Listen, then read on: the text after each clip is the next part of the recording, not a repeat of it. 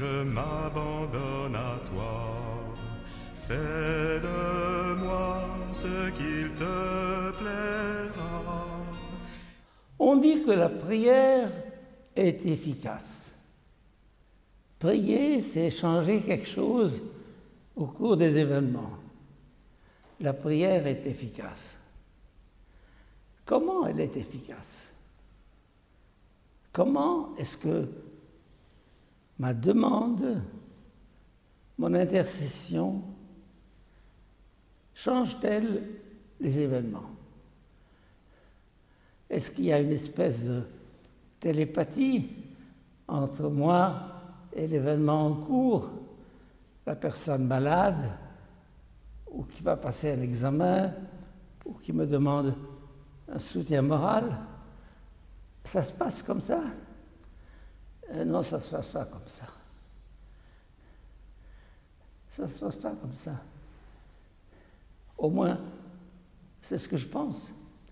Ça se passe comme ça. Ça veut dire que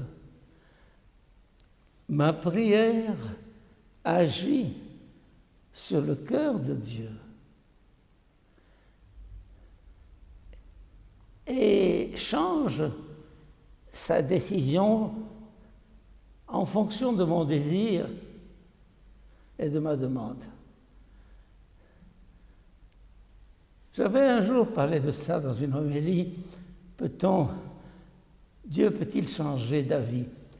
Il change d'avis pour me faire plaisir. Il change d'avis pour me faire plaisir.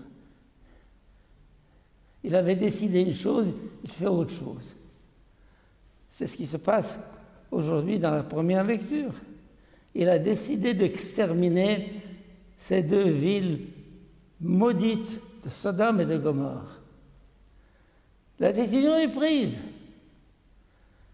Et quand Abraham apprend, la chose,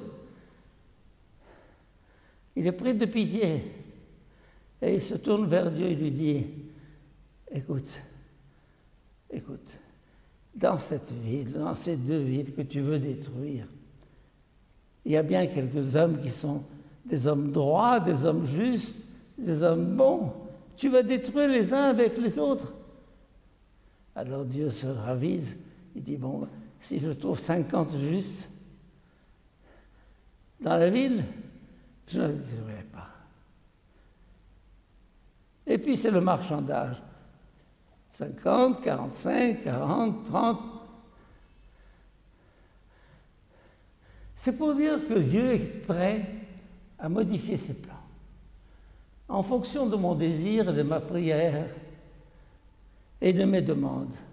C'est le sens des, demandes que nous adressons à Dieu, soit à la messe, soit ailleurs, personnellement.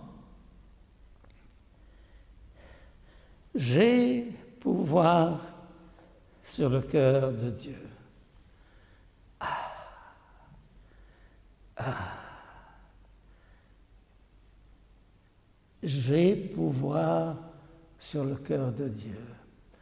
Je n'ai peut-être pas pouvoir sur la guerre en Ukraine. Je n'ai peut-être pas pouvoir sur le prochain régime américain. Mais j'ai pouvoir sur le cœur de Dieu. Et Dieu, eh bien, il s'arrange. Je ne vais pas lui expliquer comment changer les choses. Il est assez malin pour ça. Je le prie, je lui dis, débrouille-toi, tu es assez grand pour ça, je ne vais pas t'expliquer. Il ne va pas me dire qu'est-ce que je dois faire? Je lui dirai, je n'en sais rien. C'est à toi de décider, c'est à toi de voir. Et il voit, il décide, et il fait pour le mieux. Et donc, savoir que ma prière n'est jamais inutile. Aucune prière n'est inutile. La prière change le cours des choses comme l'action change le cours des choses.